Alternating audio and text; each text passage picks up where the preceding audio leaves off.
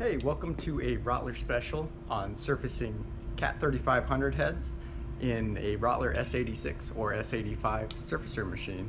My name's Ryan, the application engineer here at Rottler, and just wanted to give you guys some food for thought and a little extra thing to think about if you're doing heads like these. In the machine here, we have our CAT 3500 head. We have our dual axis leveling table, and we're using a uh, 14 inch fly cutter here in the machine today. Um, one of the things that can happen, and a lot of times when these heads are redone and resurfaced multiple times, they may go through two or three reman processes. And normally what we do is on a leveling table, we come in here, we take our dual axis bubble level, put that on the deck surface, find a good spot for it, and set it up on there and uh, we'd adjust the leveling table until that's level, and of course our machine's level, uh, and we would go ahead and do a minimum cleanup on this head. And, and that works just fine. Uh, it's, it's, usually not a big issue, but what can happen is on these heads, since they can be remanned multiple times, um, over time, if you keep releveling on that surface, and say in the past it went through a machine that wasn't leveled, um, wasn't trammed to the bed, you can get a parallelism issue happening between the cover surface and the deck surface. And those two surfaces, if they keep getting machined just with leveling off the deck surface, that angle is going to increase over time. And what will happen is the cam follower, uh, where those holes are here, and that alignment, that angle, that's going to change, and that can lead to premature uh, camshaft failure.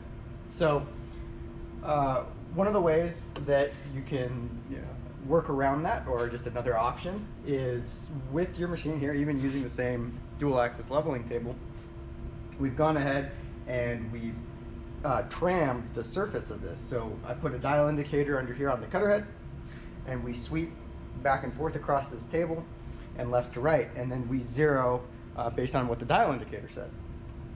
So that gives us a nice square surface to our machine spindle uh, so then we should be cutting parallel.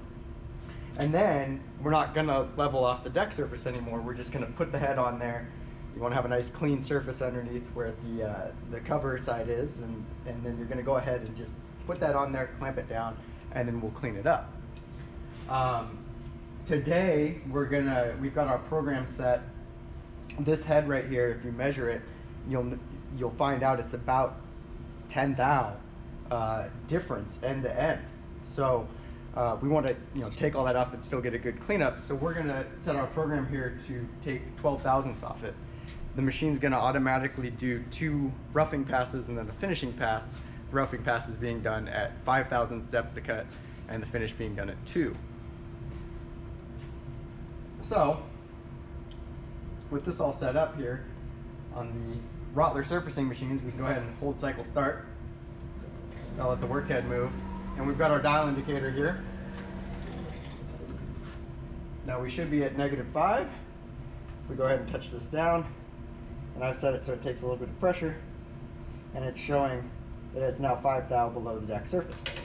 So that should be good. And that, that's where check. If we were doing a, another head, every time you put a head on, this comes down here, you push that down, and you make sure um, that you're going to be taking the right amount off. If it wasn't, you can adjust the program or just do a skim pass at zero. So with that set, we'll just press cycle start here.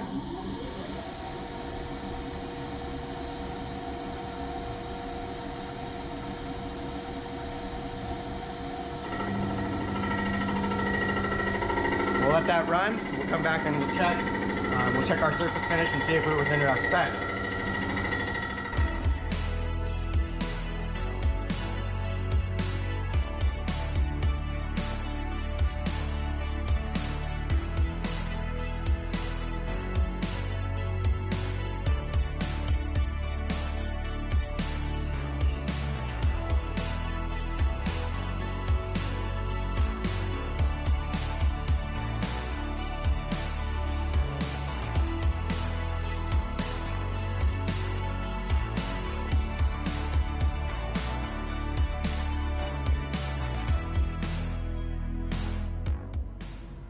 So that's just finished up, taking 12 thou off, and we can see, and we can see through those passes, uh, that it took a little bit to clean this side, which we knew was out, and we're still getting a little bit of ghosting, and we still have some pitting we want to clearly take out. So I'm just going to change the program here. I'll reset zero, and we'll just take another six or seven thousandths off of this until we get all that pitting back out. I'll set my zero, let's go ahead and do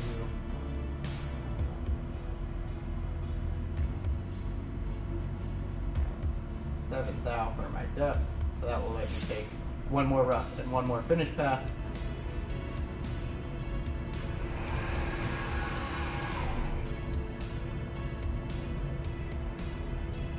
With every run.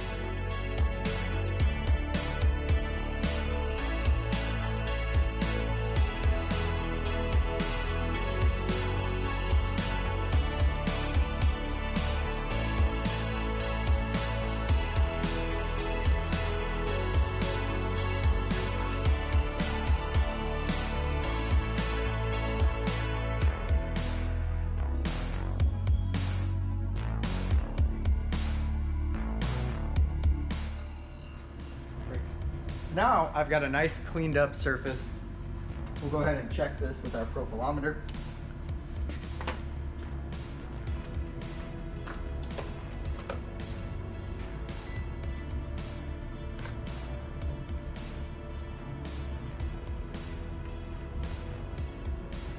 Spot for it.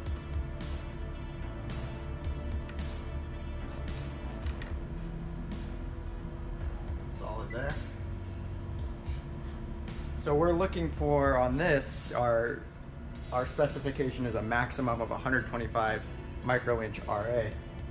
Um, we're running 800 RPM and a 20 thousandths inch per revolution feed rate to keep our cycle time up. We do want to work within that tolerance.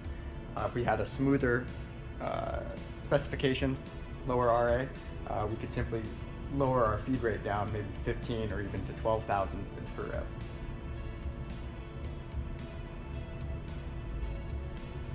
And we're getting a 95.28. Stick that up there so you folks can see. So this would be good. Um, that means we're we're running efficiently. Our cycle times are good. We've we're 25, 30 micro inches below our maximum specification, uh, and that means we've got a pretty optimized set of feeding speeds here. So again, the video is just something to, to think about if you're doing 3500s and thinking about the, the angles that things are getting cut to and knowing the machines and, and how to uh, work with what you've got and work with what may be coming into your, your shop. Um, hope you guys enjoyed this as always. Like, comment, subscribe, and let us know what you'd like to see next.